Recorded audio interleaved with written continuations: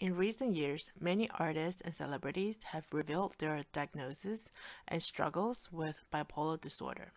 Among them is Kanye West. His controversial acts and speeches have often become hot topics. Compared to other famous persons with bipolar disorder, Kanye's display of erratic behaviors were often documented. Some of the signature symptoms include impulsiveness, talking fast, lack of emotional controls, inflated self confidence, etc. He even infamously proclaimed that he is God. Actually, many people with bipolar disorder will experience a state of mind called messiah complex, especially when they are in their acute manic state.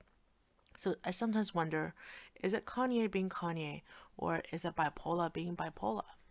Last summer, a report said that Kanye West can off his bipolar medication to finish his upcoming album. Insiders claim Kanye doesn't feel creative enough when he's using mental health medication and needed to finish his Genius album without it. The report went on to say that it happened shortly before his outburst at the rally and on Twitter. People with bipolar disorder or other mental illness often complain about medication they think that either medications are ineffective or the side effects are too much to bear. Those are totally legit complaints.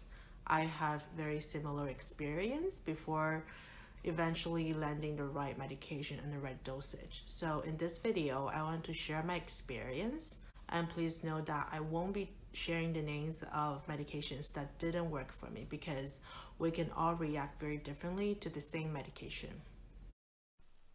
In 2003, after falling from the 8th floor balcony, I was instantly paralyzed by my suicide attempt.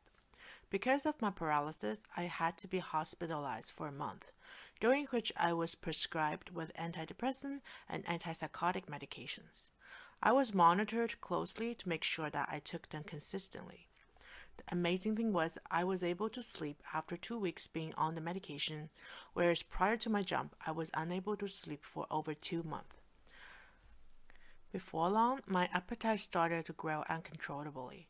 Also, due to the fact that I was bedridden, I put on 60 pounds in a very short amount of time.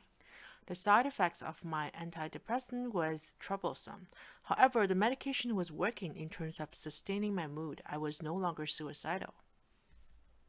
In 2006, I was once again admitted into the psychiatric ward because I was unable to sleep for days.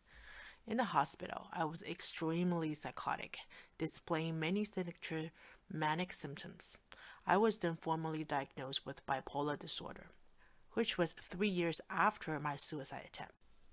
As it turned out, it's actually common that a bipolar person might be initially misdiagnosed with depression instead of bipolar disorder because when a bipolar patient first sees a psychiatrist, it's usually during their depressive state. Their doctors might not be aware that they were manic in the beginning. Because the fact that I was on antidepressant for years, the accumulated amount of medication elevated my mood so much that I became manic. So after receiving the right diagnosis, I was placed on this medication that is usually the first drug of choice to treat bipolar disorder. I was also taking an antipsychotic medication, and at one point, I was taking three different medications all at the same time, and they gave me terrible, terrible side effects. I was still very overweight, and on top of that, I had severe acne to the point where my face was disfigured. I had no interest to do anything. My ability to read and to comprehend was affected. My mood was flat. I had no highs and no lows. I was a really aloof and boring person. Falling asleep was difficult. My sleep was shallow, and after waking up the next morning, I didn't want to get up. On top of that, I had to deal with my spinal cord injury. That was one of the most difficult period in my life. I thought about giving up again for so many times.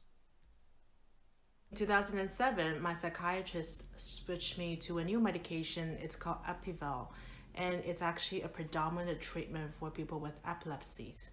Honestly, by that time, I had tried so many medications that I had no faith on this medication. I didn't believe that I would ever be happy again. However, I had always been a very compliant patient, so I took it anyway. So months later, I got up one day and it just felt like I was different. I couldn't explain why. I just felt like I was a different person and I never experienced my inner state in such a way. I was so confused. I didn't know why.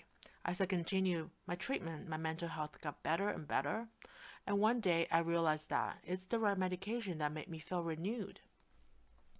However, finding the right type of medication is not enough.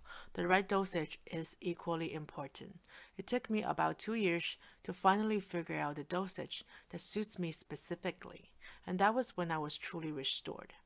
But one time, my pills came in different color, not knowing that they would double the dose of my previous color. I was taking the wrong amount of medication for a month. During that month, I felt really icky. I was hungry all the time. I didn't want to exercise. I was moody and I gained 50 pounds by the end of the month. And after discovering the mistake, I went back to my regular dose and I became normal again after two weeks. Today, I'm still taking Epival every night before bedtime. I also take Seroquel, an antipsychotic medication which helps me sleep better.